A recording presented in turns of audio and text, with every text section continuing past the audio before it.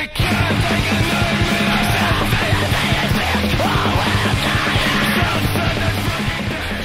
it's me, your boy. Today, what are we gonna do? You're gonna blow everybody. No, we're not doing that. Uh, today, we are gonna be comparing and contrasting. This is like my 200th take, and these aren't easy to watch movies. Okay, getting ahead of myself.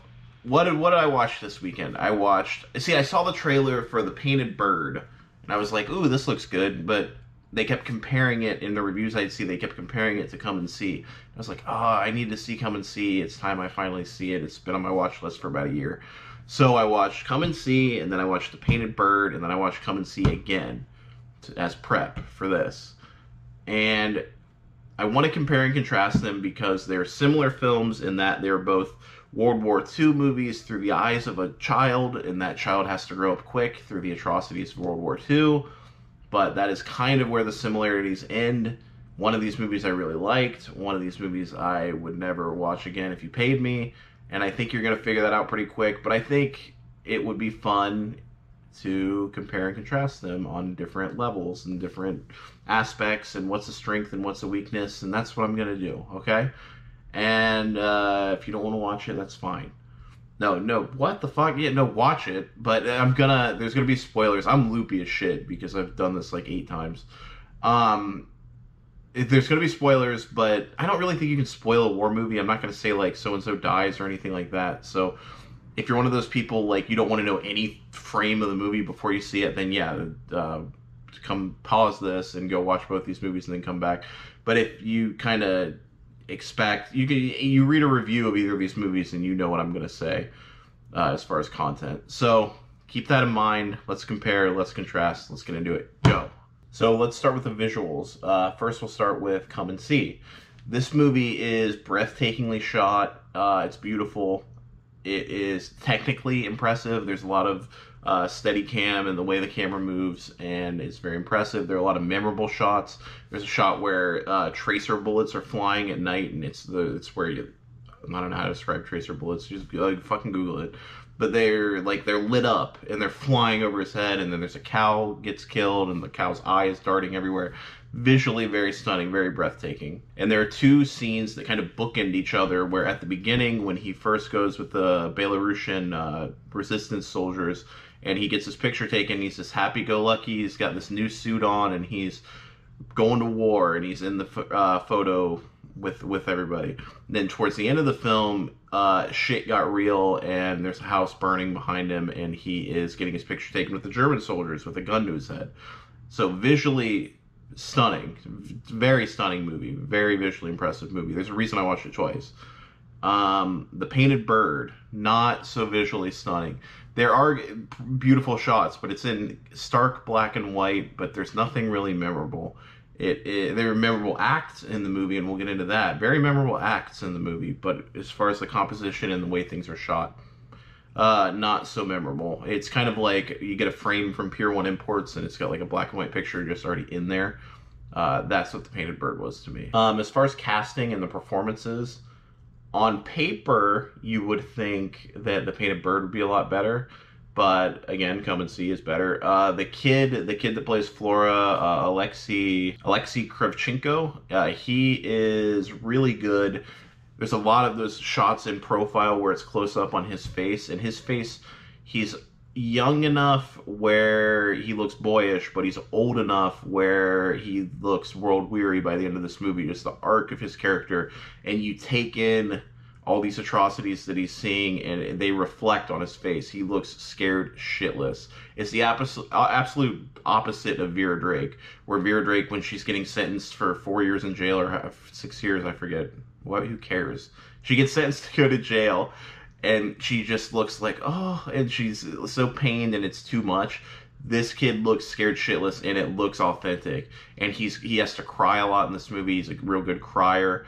Um, the girl i forget the girl's name rosie i think but the girl in the movie she's good because when they meet in the woods it's this very surreal scene and she plays surreal up very well and uh, just her eyes are great. And she does a lot of the like snap, you're laughing, snap, you're crying, and you you can't tell if she's kind of crazy. I feel that's dismissive, like you know, bitches be crazy.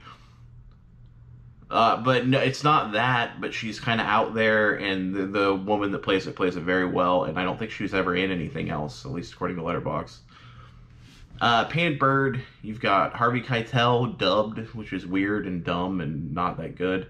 Uh, you've got Udo Kier, who I think I know who that is. He's his character's not very sympathetic, but it's beside the point because you already don't care. He's boring, dumb, and uh, Stellan Skarsgård is in it. He's really good. Stellan Skarsgård's character that is like the only shining moment in that movie. The only moment of any humanity in the Painted Bird is the Stellan Skarsgård character. The sound, uh, surprise, uh, come and see wins again. Uh, I always watch movies with headphones on, or I try to watch movies with headphones or earbuds in. And this is where it pays dividends to watch it with headphones in because there's a, a scene where a bomb goes off next to Flora, and then he can't hear for a while, and it sounds all muffled, like when you're you go underwater and like you can hear yourself breathe. You don't breathe underwater, but you can you can hear like your inside your head sounds of like your ears. I, I don't know, like inner ear noises. I don't know. They, they do a really good job with a bomb went off and he can't hear and it feels like you can't hear. And there are scenes when whenever that plane is above the sky, which this plane right now in real life here is above the sky, but the reconnaissance plane that initially catches him, uh, digging up the guns and sets the entire plot into motion, that's very ominous and that's very effective. Every time you hear that plane up in the sky, you know the shit's about to go down. The Germans are watching. It's like this omnipresent eye of the Germans, and uh, don't get too excited because we've got our eye on you and we can fuck shit up, and we will. Uh, so that sounds very impressive and very effective. And the there's bugs everywhere. There's fucking flies. You always hear flies. And then towards the end, there's like an actual war, like battles. And uh, not a battle, but there, there's a scene with warriors and weapons and everything. And you hear the dogs are going fucking crazy. You hear dogs barking. You hear the music from the speakers. You hear the music in the soundtrack going at the same time, which is crazy. You hear people screaming and dying. You hear weapons going off. You hear uh, the the plane. The plane's always there in the bad times. You hear the vehicles honking and going. So uh, this cacophony of fucking craziness in a normal war movie or like an American war movie, you'd hear that here and there, and you know, big bombs, and you'd hear it, it, it would get loud. The Thin Red Line gets fucking loud, and uh, I guess Terrence Malick's thing is he wants you to play that film loud. But this movie stays loud. It stays loud. For, there's like a 20 minute sequence towards the end where it doesn't let up, and it's brutal and it's realistic and it's for a greater point. He's making a very good point. Just in the sound design, he's making a point. Okay, so uh, the Painted Bird um, they used the fucking Wilhelm scream in 2019. used the fucking Wilhelm scream. It's embarrassing. it's fucking embarrassing. Next, let's talk about just the atrocities and the ugliness of World War II. And come and see. Everybody says come and see is a tough watch, and it is a tough watch, but because it's shot so well, it's kind of an easier watch. But there are horrific things happen in that movie but it is done with a greater message, and that message is this shit happened. Be careful, or this shit could happen again. That's basically why he made the movie. I guess it was more a reflection when it came out of like the Cold War, and you you see horrific things, but it, there's always a point behind it. You see when they're in the village and he, uh, the girl turns her head and sees the stack of dead bodies. It's a very quick shot, but that is a very effective shot. You go from oh, where's everybody at to just everybody's just fucking uh, discarded like trash and it's people and they're dead and it's everybody Flora's ever known. It's his entire family. It's his entire fucking village. That's powerful. And it, although very ugly things happen in this film, it, you feel like you're seeing something you need to see. The Painted Bird just feels like a checklist of awful shit. It's done. It's not aesthetically pleasing. It's just bad shit. It's like it's the checklist of bad shit. It's like a skate video where it's like, okay, here's Rodney Mullen's part, here's fucking Steve Berra's part, except here's the guy getting his eyeballs ripped out. Here's the guy getting eaten by rats. Here's the woman being raped with a uh, glass bottle. This movie, so many horrible things happen in this movie, and it's not for a, a greater point. There's no point. Even when the point is there is no point, There's not even that. It's horrible shit for horrible shit's sake. I can take horrible shit. I like feel bad movies. I love Michael Haneke. I sit there and watch The Seventh Continent and I go, holy shit, I never want to see that again. It's horrific. An entirely an entire family commits suicide together. That's fucking horrific. But you know what? It was a real story, and he's telling that real story and the senselessness of that. The Painted Bird. It's just how much dumb, bad shit can I throw in? It's horrible and it, it, for no greater good. It's not this. He's not making an existential point. He's not making any point. It's just bad shit. All the women are whores. All the men are terrible and pedophiles. You see suicides. You see hangings. You see a horse get murdered. You see, it, fuck it. You you don't need to see that shit. Fucking 34 years old. I watch the news. I don't need to see that shit. So let's talk about the tone. The tone of both of these movies. Uh, let's start with Come and See. This movie, it it's very effective and it hammers home the point over and over and over again, especially toward the ending when he's shooting the the painting of Hitler and it's intercut with real stuff. Like you see all these horrible things throughout the movie and it's like, okay, it's just a movie, it's just a movie.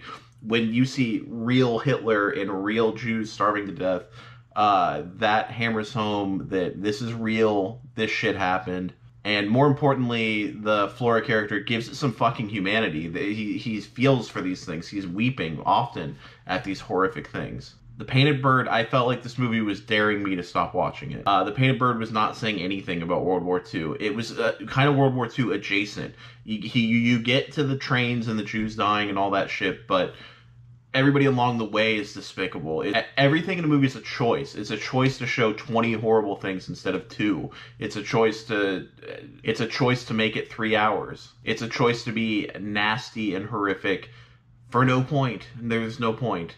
Again, this movie felt like it was daring me to walk out, and I was at home, so it would have been weird. It was daring me to turn it off. So, in conclusion, let's conclude on both of these movies.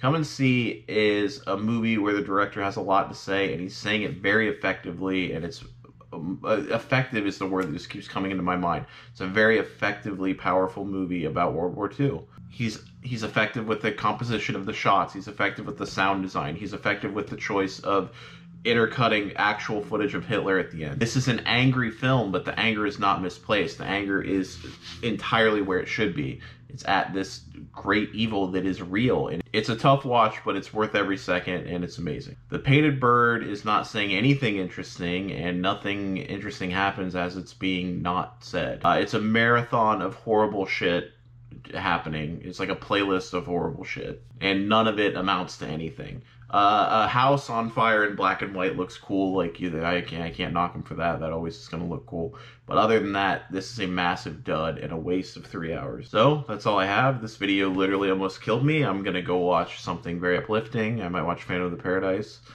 Uh, yeah, I need something to make me happy because these are draining to watch. Uh, follow me on Instagram at Auteur Deluxe, on Twitter at Auteur Deluxe, and uh, at and on Letterboxd at at it's at Ween W E E N. But I think if you look up Auteur Deluxe, you find me that way too. Thank you. Stay hydrated and wear a mask.